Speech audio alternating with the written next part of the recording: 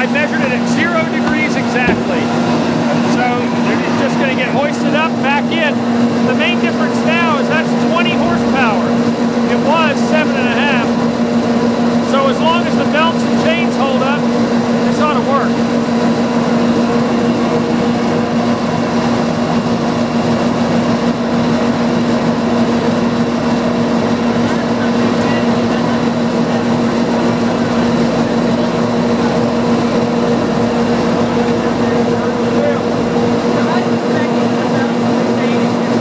And just push it over, Johnny. Got it.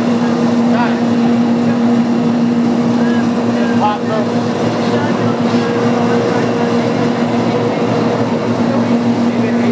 really strong, but he didn't know that the 15, this is gonna be under.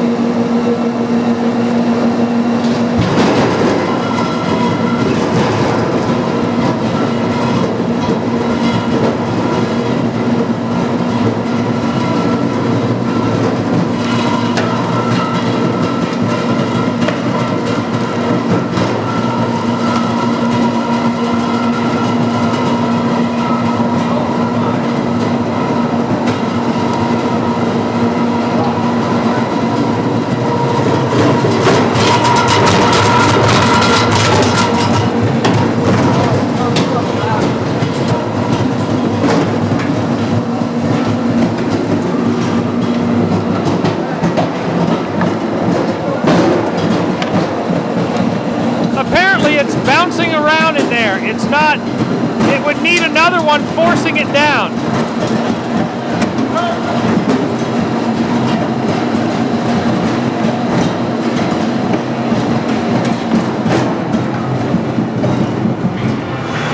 That's like an unbalanced washing machine while it's trying to spin. Let me take a look in there.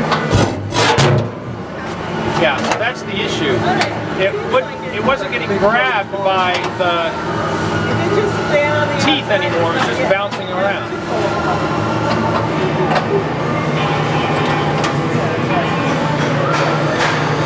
We'll take a look in here again.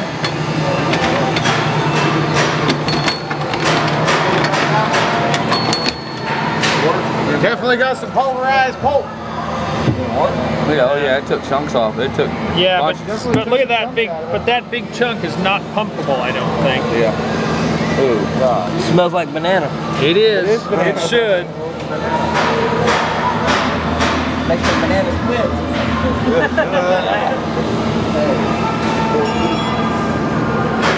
Those are still just hard piece. Well, they compress a bit. I can make a ball out of that, but this is Johnny. this is something that I can't really even break. Well, there it goes in the corner.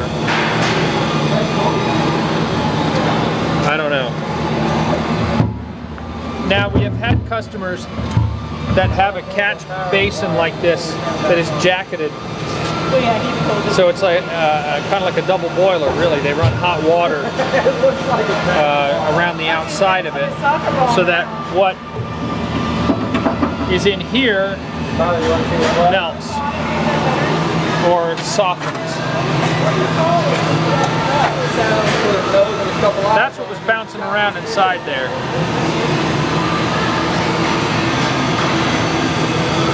So the issue was we couldn't get it, it didn't gum up, but we couldn't get it to stay down where the drums were. The drums are too close together to, to, to kind of pull it in.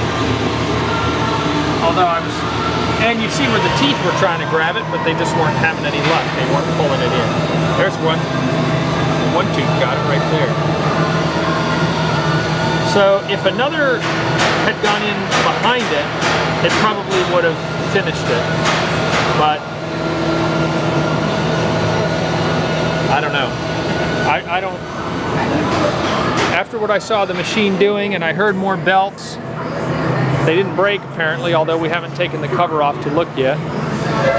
And looking at this, all I can say is I'll I'll leave it to you how interested you are in, in going forward.